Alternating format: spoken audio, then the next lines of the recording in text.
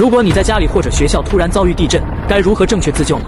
接下来这几个方法一定要牢记，或许能在关键时刻拯救你的生命。首先，遇到地震时尽量不要慌张，保持冷静。地震发生时一般是由弱到强，持续五到二十秒左右。通常公认黄金自救时间为十二秒，所以只要我们在这十二秒钟的时间内做出正确自救措施，那么很大几率是能够存活下来的。如果你居住的楼层较低，当发生地震时，你首先要做的就是不要犹豫，赶紧跑到室外空旷区域。此时不要贪恋自己的财物去拿重要物品，否则短短几秒钟可能会让你错失最佳的逃生机会。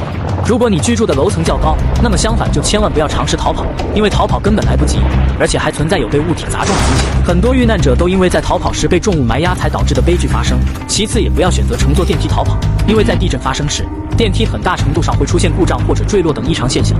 所以总结以上几点，遇到地震时就近躲避才是最明智的选择。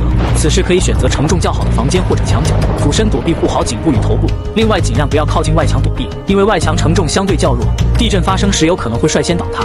如果你家没有墙，那么也可以选择迅速躲在桌子或者相对坚固的物体下面，并且护好头部，牢牢抓住桌腿，从而达到遮蔽保护的效果。一旦地震停止，立即撤离到空旷安全区域，避免余震带来二次伤害。如果不慎被倒塌的建筑封闭，此时也要尽量保持冷静，想尽一切能够自救的方法。可以先用一些坚固物体支撑上方倒塌物，防止被建筑埋压。如果出现埋压的情况，也要尽可能的保存体力，不要大喊大叫或者奋力挣扎。此时可以利用敲击墙壁的方式进行求救。以上这些方法在关键时刻或许能够拯救你的生命，所以一定要牢记。最后可以把这条视频转发出去，让更多的人看到。抖音。